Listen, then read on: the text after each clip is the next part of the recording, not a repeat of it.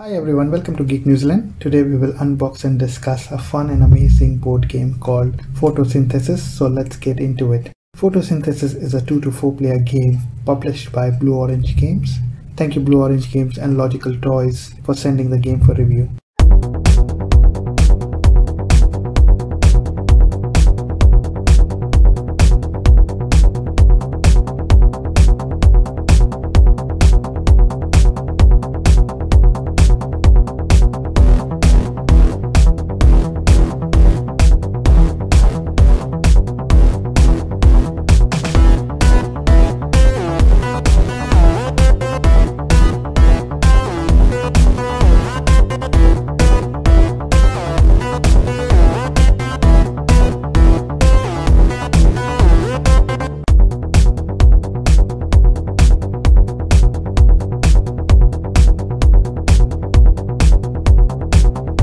At the beginning of the game, each player is going to take one of their two small tree and place it outside the ring of the board in turn order one by one till all players have placed their two small trees in the outer ring.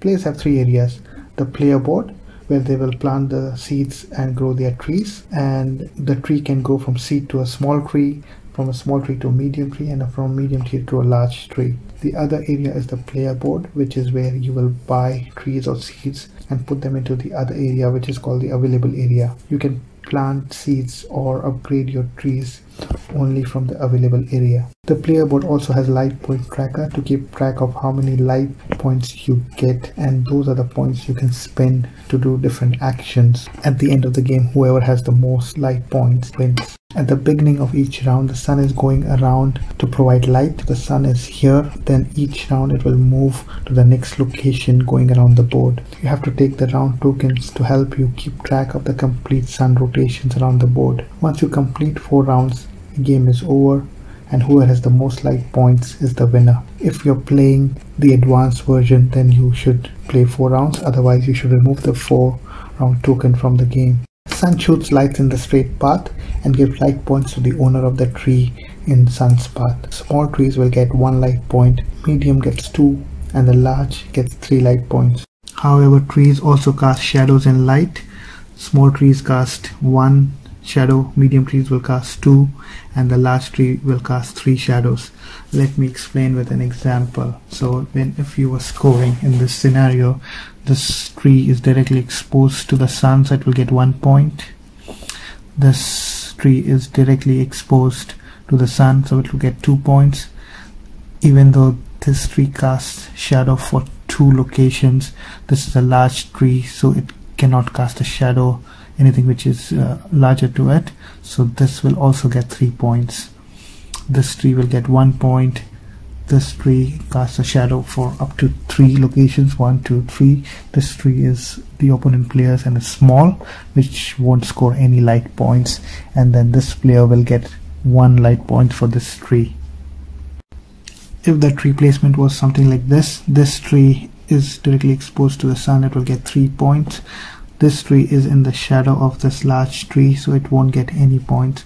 Using your light points on your turn you can either plant a seed, grow your tree from size provided you have that tree available in your playing area, purchase seeds or purchase a tree from the player board or you can also chop a large tree to get equivalent points based on the location of the tree. All actions and costs are indicated on the player board. I will explain the chopping of the tree action as it gets the most points based on the location of the tree. Example, if this tree was on this location showing 3 leaves, I spend 4 light points and chop this off. The tree goes back to the player board if there is a space, otherwise it will be discarded for the game. Collect the equivalent point token in the case, in our case 3 leaves. These tokens are arranged in the ascending order and grouped by number of leaves shown so early you chop higher points token you will get final thoughts. This game is really fun and the fun is in decision making.